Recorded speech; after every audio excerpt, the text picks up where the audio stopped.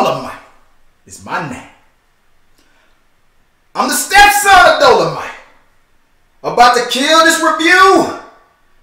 You clicked on my shit. Cause you ain't got shit to do.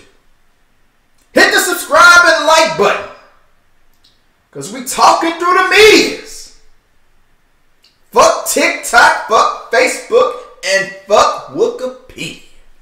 This is Dolemite's My Name made in California, LA.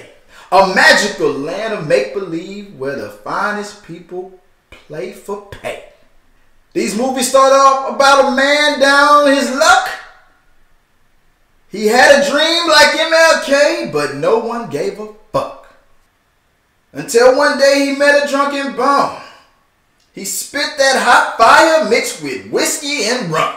But Rudy saw potential. He had a gleam in his eye. Just like his mighty swanger, a great idea had arisen. He found a coalition of women, talented brothers from far and wide.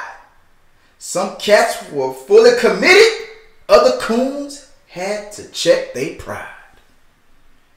When times got rough and things got sad, some people got down, others got super bad. Get permission from your warden. Make sure your parents take a nap. Check this out on Netflix. That's a motherfucking rap.